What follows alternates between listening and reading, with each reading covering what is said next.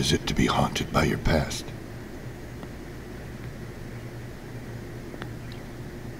Why are men expected to be invincible?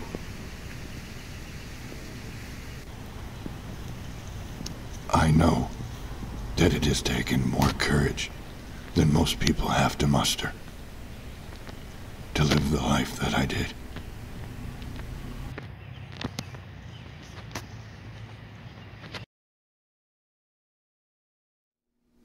I awoke from a nap about a year and a half ago with the words, Jeff died when he was 11, in my head.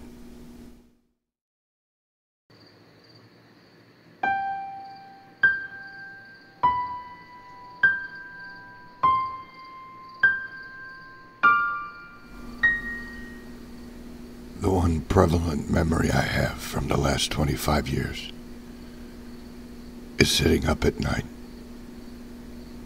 trying to understand what was wrong with me, drinking myself to sleep.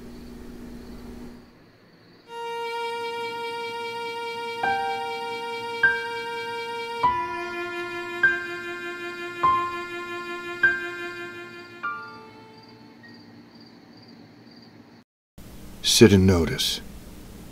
We all have subconscious tics. That moment when you start tapping your fingers, that moment when you start playing with your hair.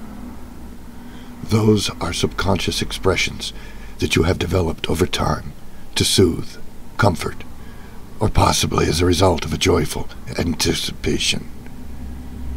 You did not will it to be.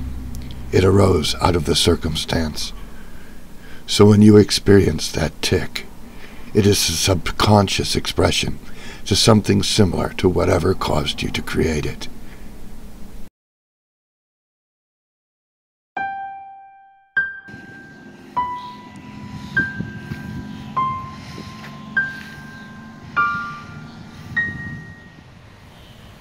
As a boy, I was told that I was gifted, talented, and intelligent. In middle school, I was placed in the accelerated math and English program. In middle school, I was placed in the gifted and talented program. My mother took every opportunity to talk about her talented and intelligent son I didn't know how to live up to that. Consequently, I quit gifted and talented and deemed myself a failure. When I was 12, I realized that I was gay. And all I could think at that time was that my mother would not want that kind of son.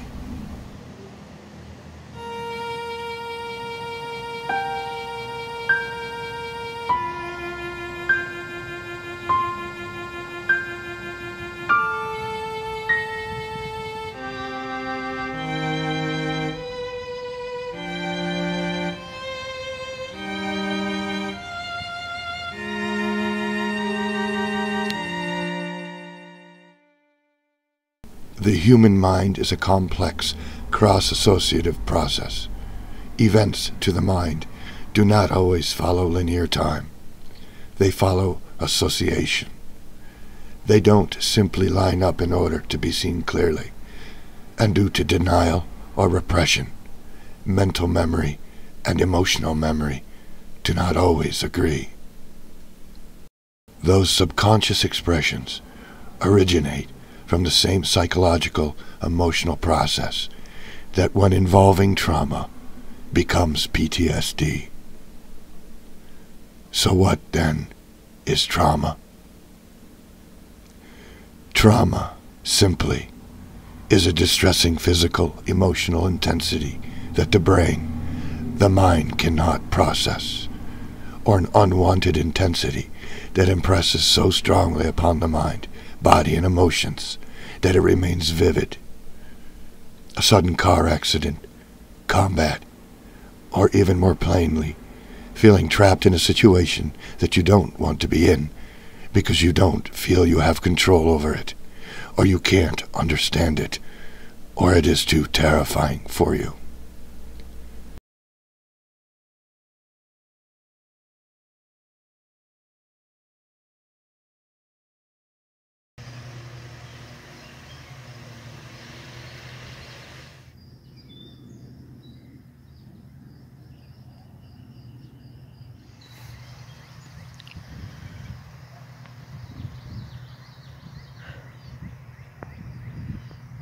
I like sitting out here. It's peaceful.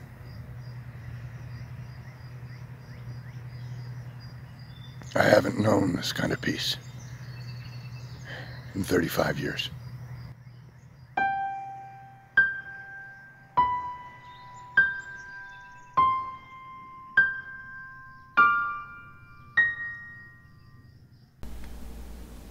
Now imagine that the subconscious tic you experience is the emotional, mental memory of something that terrified you or you felt trapped in, and that its expression is to relive it viscerally in emotion and memory.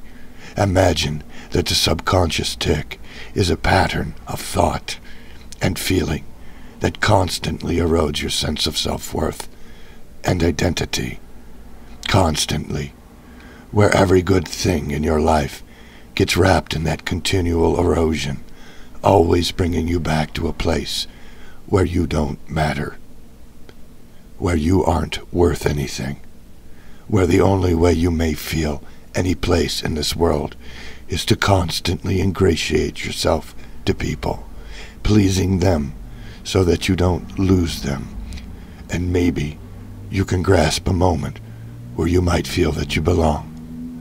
And even then, you never truly feel like you belong. I call it living behind the glass wall. You are there, but you are not a part. When I was 12, I already felt I couldn't live up to the expectations I thought had been put upon me. When I was 12, I realized I was gay, and I thought society believed gay to be wrong and dirty.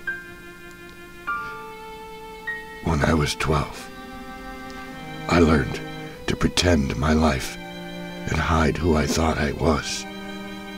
Dirty, wrong, and incapable. When I was 12, I began to think I was unlovable. Was 11. I died.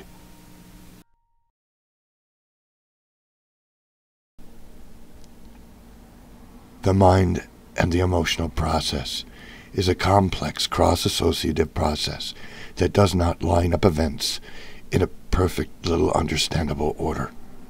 And denial and repression create even more confusion because mental image, thought, and emotional memory often contradict each other. The result of trying to cope with something you cannot process or deal with.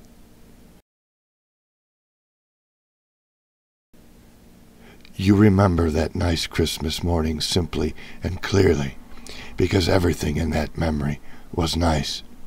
Your mind and emotions can recall it clearly because all of it is an agreement.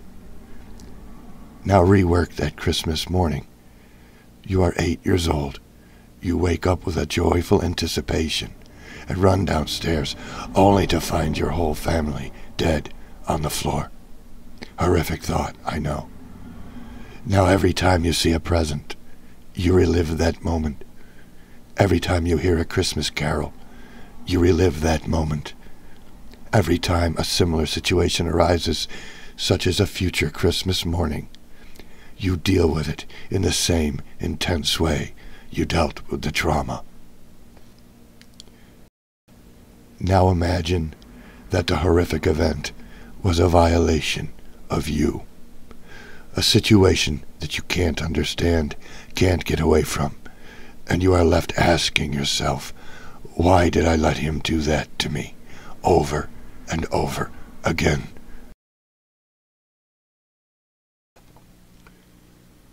When I went away to college, I was still a 15 year old boy inside, feeling unlovable, incapable, ignoring his feelings for the boys, pretending his life, pretending to be someone else, someone people would like.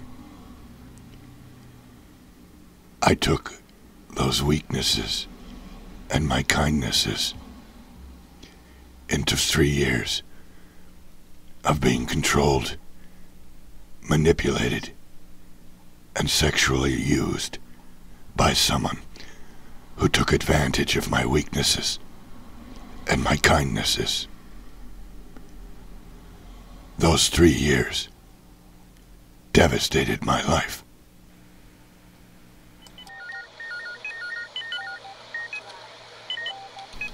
You experience shame because of the violation. You experience a lack of confidence because you should have been able to do something to stop it. Your self-worth drops into the toilet because now you are dirty and defective. And who would want to love the dirty, defective person you believe yourself to be? And now you feel alone.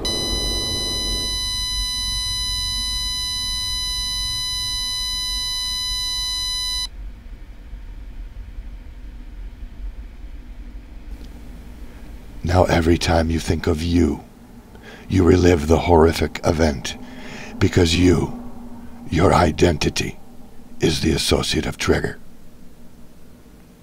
Yet no human being can live that way.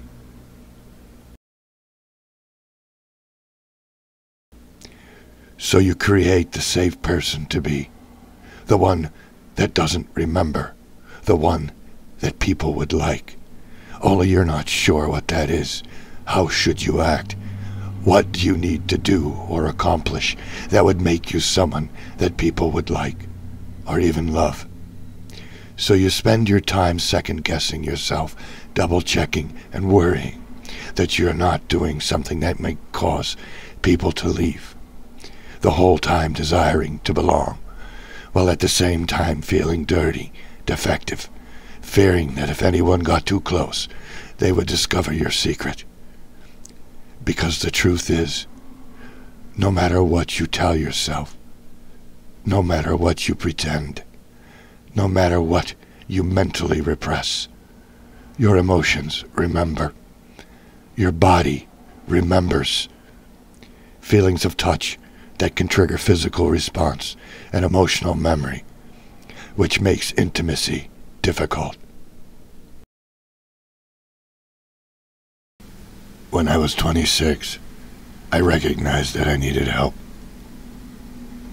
I sat in my father's den, at his computer, a mere eight feet from him. I knew it had to do with the man who used me, and how I felt about guys. But I couldn't separate it out. I couldn't understand. And I couldn't ask for help.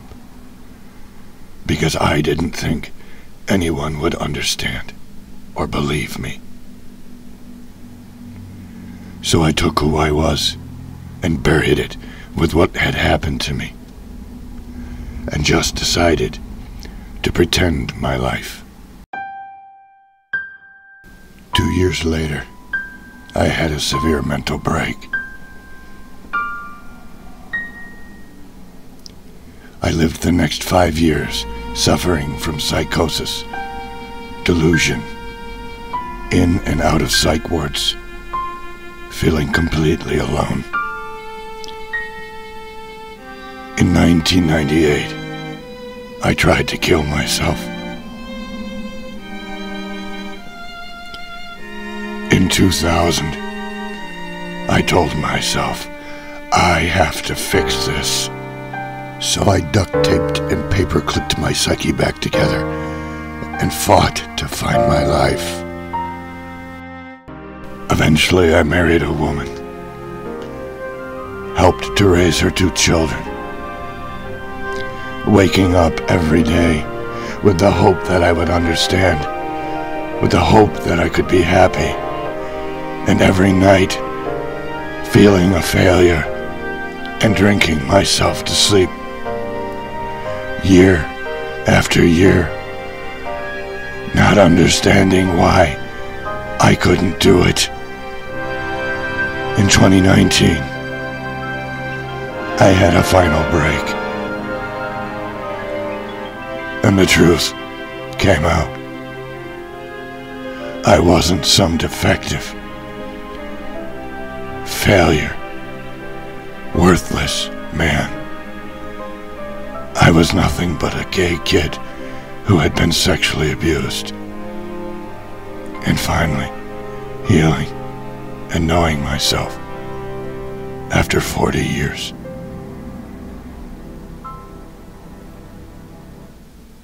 It takes a lot of energy to live this way. It's a life without hope. It's a life without love. It's a life of confusion, fear, and pain. We just get good at wearing the face, at playing the part. Because we still have to live in this world. We laugh. We work. We do everything that everyone else does. It's just at the end of the day, we cry inside, often without even knowing why. It takes a lot of courage, strength, and determination to live this way. This is the expression and experience of PTSD, at least as I experienced it. I was sexually used and abused for three years, and I lived with PTSD for 33 years. Some men have lived with it even longer. This is not a clinical presentation by any means. This is simply my first-hand account, my actual experience. Yet I know it applies to the other men I interact with because we understand each other. I just want the public to understand as well. I want these men who are afraid to speak to not be afraid anymore. Despite what people may think, they are all intelligent, compassionate men, doctors, artists, gay, and straight. They don't ask much. They just don't want to be dismissed. We have already felt invisible for way too long.